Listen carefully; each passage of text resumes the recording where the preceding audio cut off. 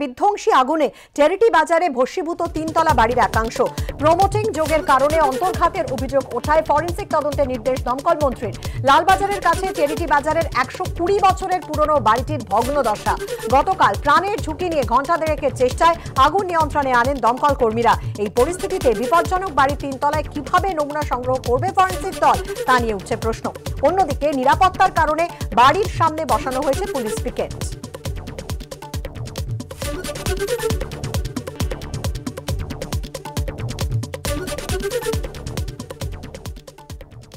Treaty বাজারের পনেরো নম্বর ড্যাঞ্জেল lane. এখানেই কিন্তু শনিবার সন্ধে সোয়া সাতটা নাগাদ আগুন লাগার ঘটনা ঘটে এবং এই ঘটনার খবর পেয়ে ঘটনাস্থলে পৌঁছয় দমকলের কর্মী এবং তাদের ইঞ্জিন নিয়ে। এখন দেখা যায় যে এতটাই ঘিঞ্জি এলাকা যেখানে পৌঁছতে কিন্তু বেগ পেতে হয় দমকল কর্মীদের। কিন্তু তার থেকেও বড় সমস্যা এই যে উনিশশো সালে তৈরি যে বাড়ি, সেই বাড়ির তিনতলার ছাদে আগুন লাগার পর তা নেভানোর কাজ ছিল অত্যন্ত কঠিন দমকল কর্মীদের কাছে। কলকাতা পুলিশের ডিজাস্টার ম্যানেজমেন্ট গ্রুপ এবং দমকল কর্মীরা কার্যত জীবনের ঝুঁকি নিয়ে তারা কিন্তু উপরে পৌঁছে যান এবং সেখানে গিয়ে আগুন নেভানোর কাজ করেন।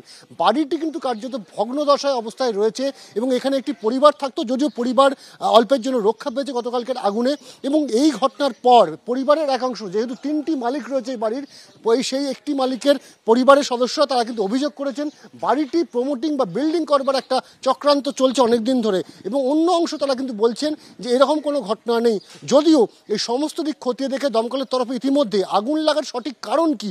কিসের থেকে আগুন লাগল, তা জানতে ফরেন্সিক করা হবে এমনটাই কিন্তু জানা যাচ্ছে। কিন্তু প্রশ্ন হচ্ছে যে যে বাড়ির ভগ্নদশা অবস্থা যেখানে কার্যত জীবনের ঝুঁকি নিয়ে এই দমকল কর্মীরা এবং কলকাতা পুলিশের ডিজাস্টার ম্যানেজমেন্টের যারা কর্মী, তারা যেভাবে আগুন নিভিয়েছেন গতকাল ফরেন্সিকের যারা আধিকারিক আসবেন এখানে এখানে নমুনা সংগ্রহের জন্য, তারা কীভাবে এখানে ওপরে উঠে নমুনা সংগ্রহ করবেন, সেটাই এখন সবচেয়ে বড় প্রশ্ন। তার কারণ আমরা দেখতে পাচ্ছি যে বাড়ির ভেতরের যে অবস্থা, বিভিন্ন দিকের যে পিলার রয়েছে, বিভিন্ন যে ভেতরের যে ওয়াল রয়েছে, সমস্ত কিছু ভগ্নদশায় কার্যত কঙ্কাল সার যে চেহারা, সেই চেহারাটা কিন্তু বেরিয়ে আসছে। আমরা দেখতে পাচ্ছি যে তিনতলার ছাদে যে জায়গাটায় আগুন লেগেছিল, সেখানে কিন্তু এখনও কালো, পুড়ে যাওয়া কাঠের যে ধ্বং- ধ্বংসাবশেষ, সেগুলো কিন্তু দেখা যাচ্ছে এবং সেই চিহ্ন কিন্তু পরিষ্কার যেখানে আগুন লাগার ঘটনা ঘটেছে, খুব স্বাভাবিকভাবেই এইখানে উঠে নমুনা সংগ্রহের কাজ না করতে পারলে ফরেন্সিকের আধিকারিকরা তারা কিন্তু আসল নমুনা সংগ্রহ করতে পারবেন না। যা থেকে পরবর্তী সময় প্রমাণ করা যাবে না যে ঠিক কিসের থেকে আগুন লেগেছিল এই পনেরো নম্বর ড্যাঞ্জেল লেনে। ক্যামেরার সন্দীপন গুপ্তর সাথে অনির্বাণ বিশ্বাস এবিপি আনন্দ, কলকাতা। আগুনের গ্রাসে বাড়ির তিন তলা। তাও তাও করে জ্বলছে আগুন। ভয়াবহ হয়ে উঠেছে লেলিহান শিখা। শনিবার সন্ধে টেরিটি বাজারে একশো কুড়ি বছরের পুরনো বাড়িতে আগুন আতঙ্ক। ঘড়ির কাঁটায় তখন সন্ধে সাতটা পনেরো। আচমকা বাড়ির তিন তলায় সিলিন্ডার ফেটে আগুন লাগে বলে দাবি স্থানীয়দের একাংশের শনিবার সন্ধ্যায় টেরিটি বাজারের ড্যান্সেল লেন সেখানে এই শতাব্দীর প্রাচীন বাড়ি তার তিনতলার ছাদে ও ভয়াবহ অগ্নিকাণ্ডের ঘটনা। প্রথম শুনেছি যে সিলিন্ডার ফেটেছে আওয়াজ এসেছে।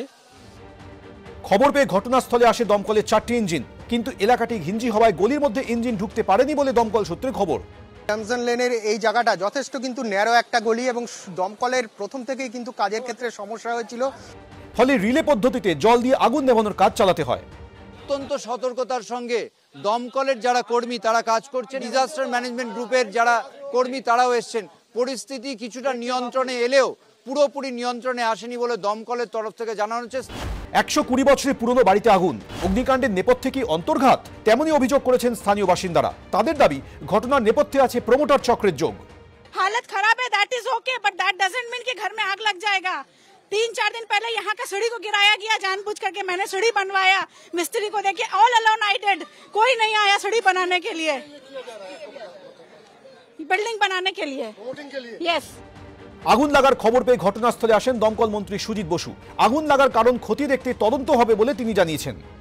ফরেন্সিক এখানে ইনভলভ হবে। ফরেন্সিককে আমরা বলব জানাব। আমরা রিকুইশন দিয়ে দেবো। আফটার ফরেন্সিক আমরা বলতে পারব কীভাবে এটা আগুনটা কোথা থেকে কি হয়েছে। দমকল সূত্রে খবর ক্ষতি দেখা হচ্ছে আগুন লাগার সঠিক কারণ। স্থানীয়দের সহায়তায় ওই বাড়ি থেকে সবাইকে নিরাপদ স্থানে সরিয়ে দেওয়া হয়। এই এলাকাটা শুধুমাত্র ঘন বসতিপূর্ণ নয় কিন্তু। এই এলাকাটার প্রায় প্রতিটি বাড়ি কিন্তু দেখিয়ে দিচ্ছি, একেবারে বিপজ্জনক বাড়ি। হতাহতের কোনো খবর নেই। এবিপি আনন্দ।